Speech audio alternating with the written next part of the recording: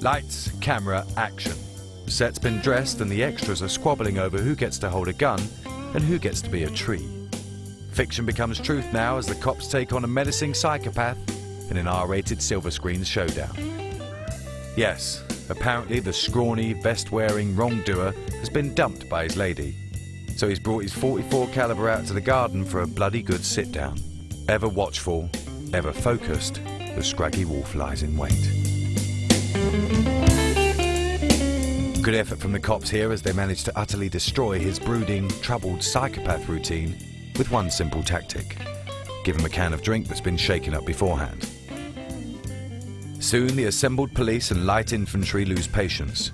The piece is shot out of his hand by a sniper and he tries and fails to look casual about the whole thing.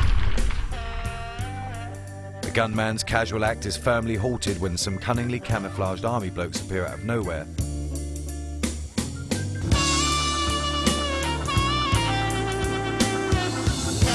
The assailant has finally been conquered, and the two army blokes have got their big break and are in talks with Fox about developing their own miniseries.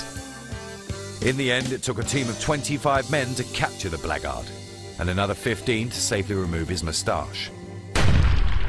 Take that, you gun-toting hippie.